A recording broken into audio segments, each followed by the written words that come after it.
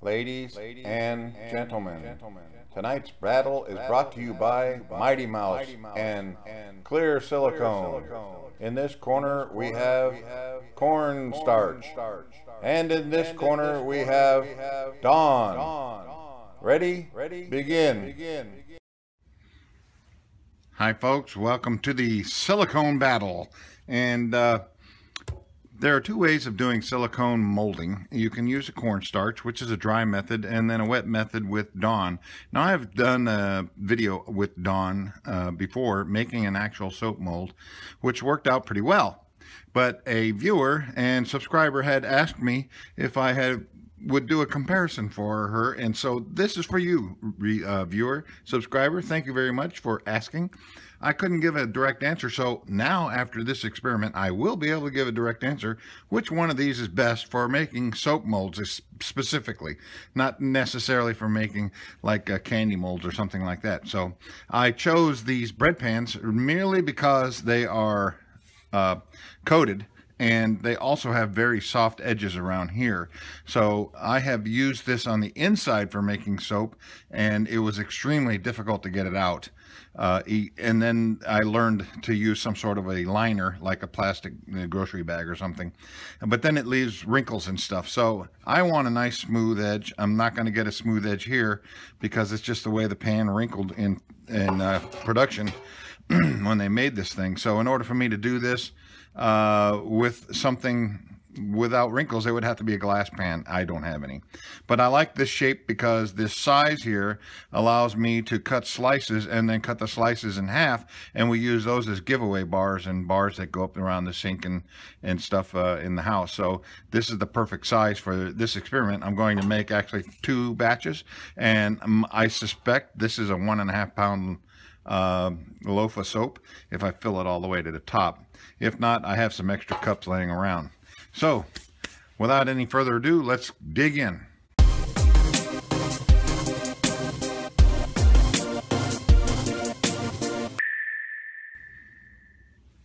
Okay, I'm going to do the Dawn first. And uh, I wear gloves. Now, I don't know whether or not uh, the silicone chemical uh, agent that is in it that stinks uh, is bad for your skin or not. So whenever you're in doubt, wear gloves. And it's a bit chilly in here this, today, so I'm going to use water that's a little bit warmed up. I don't know whether or not cold water will enhance the activation period and make it start getting too solid too quickly. Uh, so with this thing here being the right size that I want, I want it to be able to uh, hold the soap in without it without it bowing out on the side. So I'm going to use the whole tube on on the entire thing, and uh, I think it should be strong enough on the sides. I'll beef it up there because I'll be doing it as I'm old.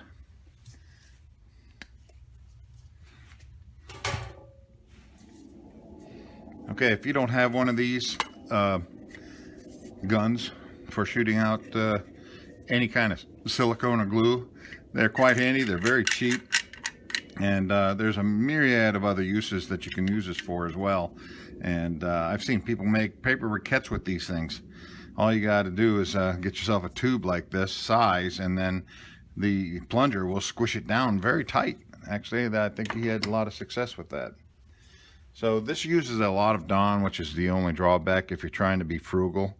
Um, I'm going to put in about a little more than fourth, not quite a half of this thing. So if you're wondering about the cost, uh, got the silicone from um, Dollar General, $3.50. That's actually a very good price for a tube. And in a previous video, I also sharpened my snippers. So this is the first time I'll be using them since then. Oh, wow, did that shoot? I'm Glad my eye didn't get shot out. So, the next thing I got to do is punch a hole down in the base of this thing. If you have something uh, that you can push all the way down there, that's all it takes. I wiggle it around a little bit just to make sure it's open as wide as possible. And then I got uh, paper towels handy because you want to get this stuff off fairly quickly Silicone is extremely sticky. And uh, on some surfaces, it may be difficult to get off. On a flat surface, uh, it wouldn't be a problem at all. So, let's see how this stuff squeezes out. Oh, good. It's fairly fresh.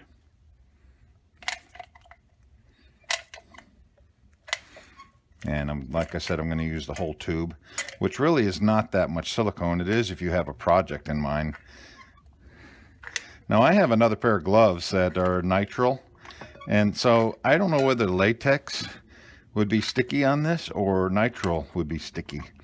So either way, I don't know that uh, it's going to matter because people online are using their hands without gloves. So I'm probably being a bit paranoid. All right. Boy, does that smell good. I'm in the garage. I definitely would not want to do this inside. So now I got to get that soap moving around in there. I should have mixed that up better. So it's sticking on me. If it starts sticking on you, just add some soap to your hand. It's a great release agent. There, that's better. So what you want to do is uh, grab the glob and just knead it in the water until it no longer sticks to you.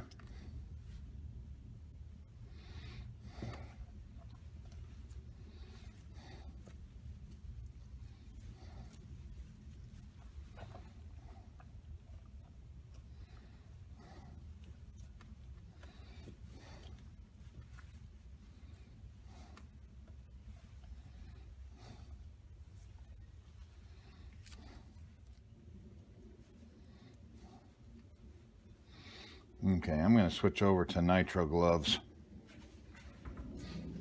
I suspect that the uh, latex is uh, extremely uh, receptive and I need something more resistant. Like uh, it's not sticking to the glass in there so I know it has enough Dawn. Let's see. A little bit on my hands first. Let's see if it sticks to this. I, I, I couldn't knead it at all. Oh, yeah. Okay, folks, there's an educational moment for myself. The latex uh, gloves are not good. Uh, this stuff here was sticking to it so bad that I couldn't use it at all in any uh, form or fashion. So now I'm, I'm able to pull it out of the water and, and knead it, as you can see. And it's not sticking to the nitrile glove at all. You know what? And put some release agent on here. Can't hurt, right? A little bit of soap. A little bit goes a long way.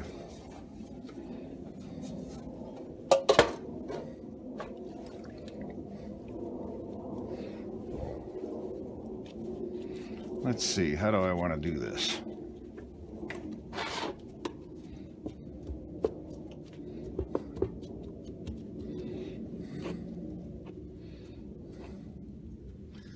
Okay. It wants to rip. I think it needs to get a little bit harder. So we need some more kneading. Okay. I think that looks good.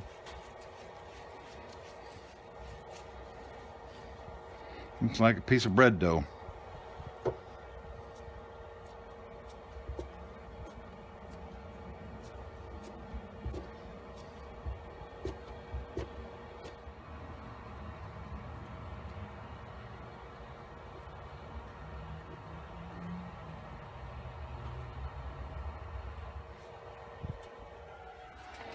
Okay, this is what I've been using to warm myself up a little bit and I'm going to use it to dry this out a little bit faster as well.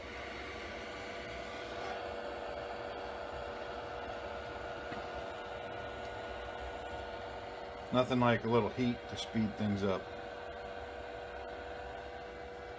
It is tacky.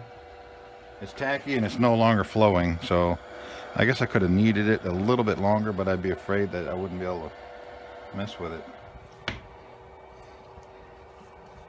some expensive stuff.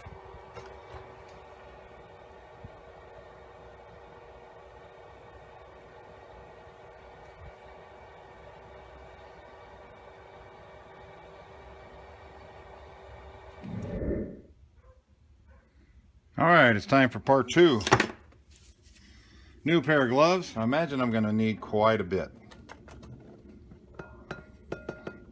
I'm going to keep it open in case I need more. And I'm going to make myself a divot in golf terms.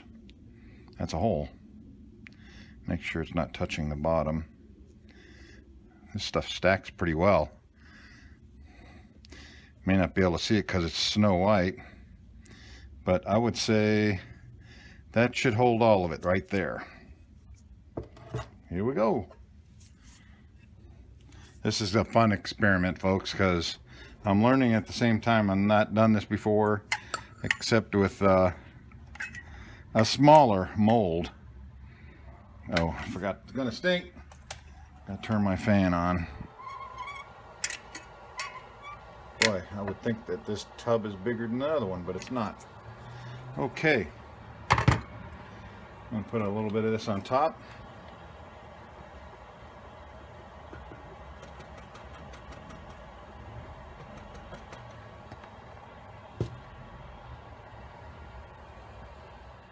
Okay, I had about a 10 minute delay because the postman came and uh, with it being holiday time, I don't know if uh, that would cause an issue, but uh, we'll see. It still feels like it's quite soft, ready to be molded.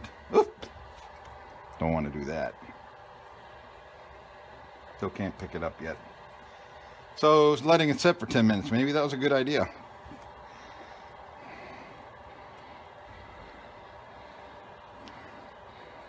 This feels entirely different.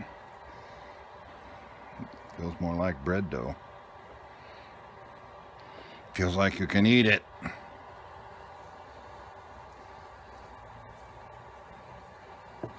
Oh, geez. It looks like bread dough. Hope I didn't have too much starch.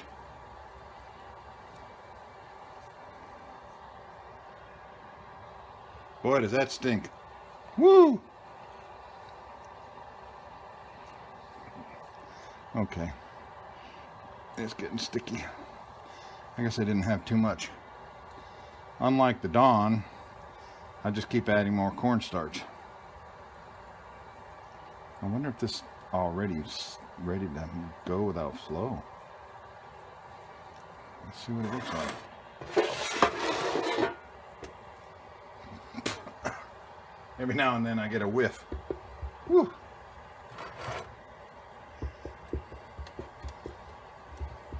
Less than two minutes in eating. This is interesting. It is sticky. Just like making bread. It's definitely not flowing.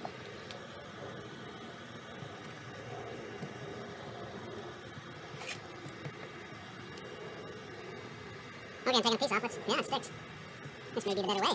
Alright, it is flowing.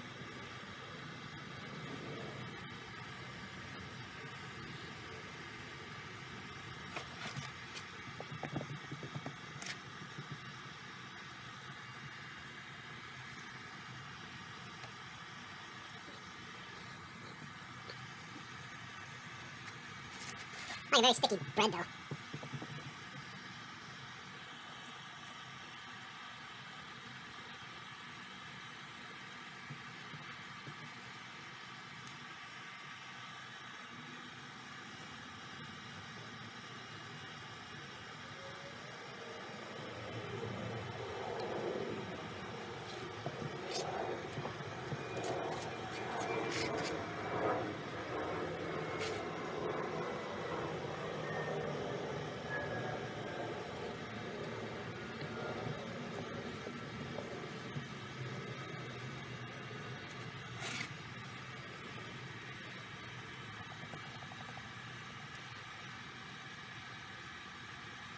Ah.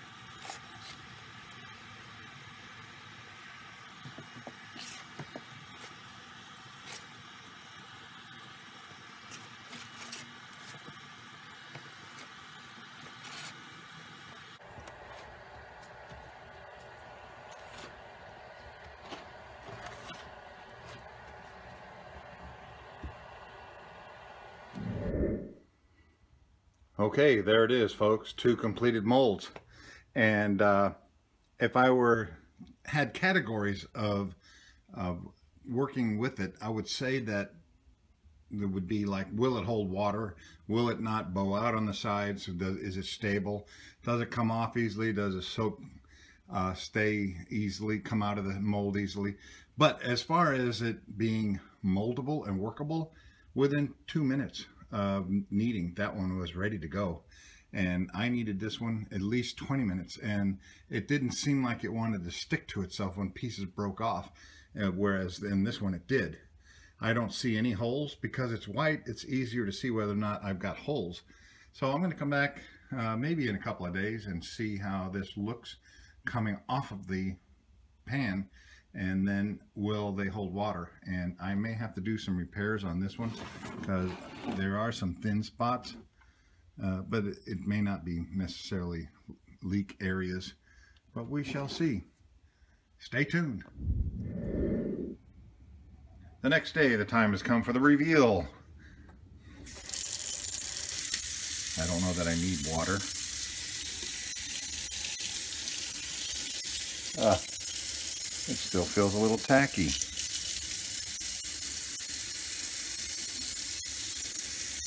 Doesn't feel like parts of it have solidified yet. Oh my goodness. It must be too cold out in the garage. Okay. I'll put the kibosh on that.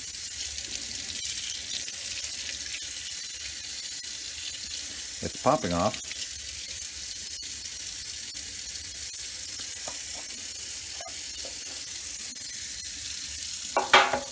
That definitely feels flimsy. Not sure it will hold water.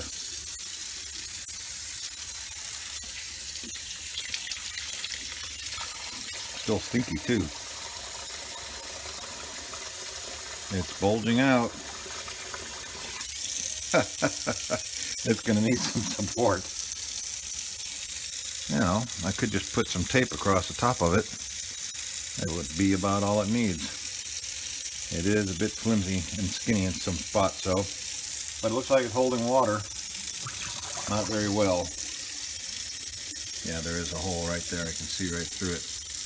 Uh, I need to go back to the garage and fix that. And now for the other one, not sure this one here's got the same problem. It feels dry. I think that the uh,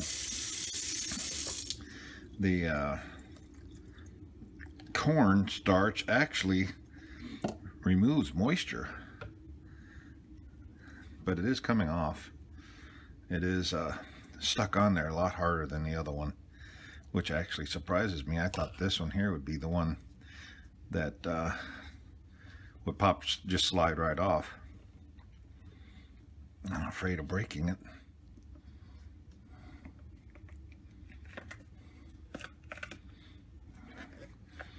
Well, I guess I could be tougher with it than I thought.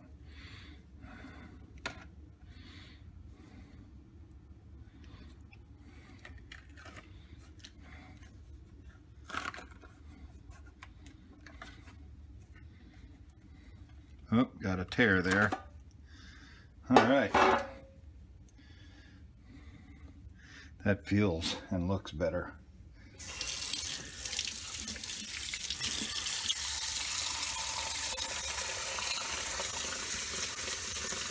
Wow, it's holding water. It doesn't even need much support at all. I'm really surprised. I think I still would support it a little bit, maybe with a string or something there and it looks like it's holding water. I can even pick it up. That's unbelievable. Okay, they will both work, but for some reason this one here has more steady structure than this one here does. That's very interesting. So, let's go back to the boxing ring for an announcement. Ladies and gentlemen, there has been a decision. Since there was no TKO, there will be an RTD, a referee technical decision. And our winner in tonight's battle is Cornstarch.